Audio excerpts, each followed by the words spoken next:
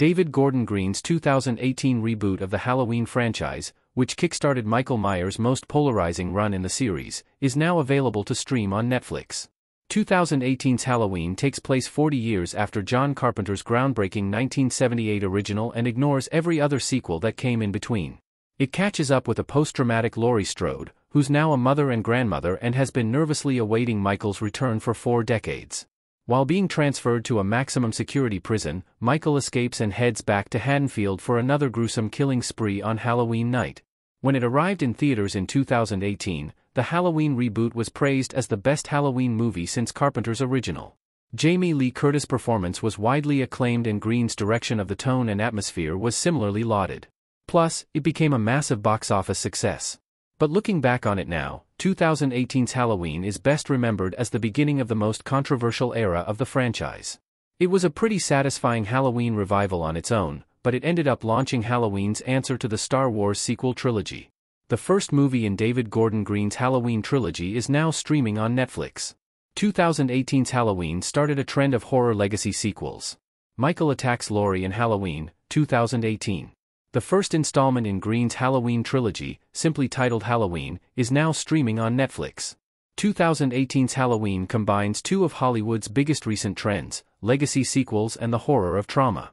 Like Creed, Ghostbusters, Afterlife, and Star Wars, The Force Awakens, it introduces the next generation of heroes following in the previous generation's footsteps, and uses the events of the previous films as an in universe metaphor to explore the franchise's standing in pop culture. And like Smile, The Babadook, and Hereditary, it uses horror tropes and motifs to depict the devastating impact of unresolved trauma. Why David Gordon Green's Halloween movies are so divisive. Green's Halloween trilogy overcomplicated the franchise. The trilogy that followed 2018's Halloween divided the fan base. For starters, it was questionable whether the Halloween reboot even needed a whole trilogy. The trilogy model is great for franchises like Star Wars, the Marvel Cinematic Universe, and Peter Jackson's Middle-earth saga, which all tell epic, expansive stories with a massive cast of characters.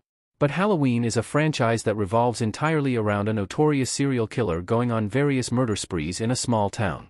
It doesn't have the scope or depth of narrative that requires franchises like Star Wars and Marvel to tell their stories in trilogies.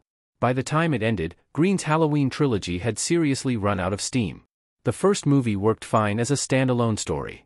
It saw Laurie confronting her inner and outer demons 40 years after their initial showdown. This time, she was ready for Michael and ended up trapping him in the basement and burning him alive, literally locking away her trauma and destroying it. That alone could have been a satisfying conclusion to the Halloween story, but the producers kept it going for another two movies. In 2021's Halloween Kills, Michael effortlessly escapes from the burning basement and the townspeople all come together to kill him once and for all.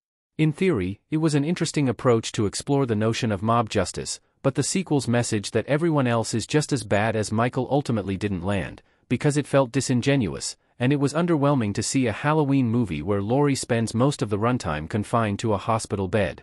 Halloween Kills drags out for much longer than it should, and its climactic beatdown disappointingly confirms that Michael is 100% supernatural. 2022's Halloween ends set out to be the Avengers, Endgame or the Star Wars, the rise of Skywalker of the Halloween franchise.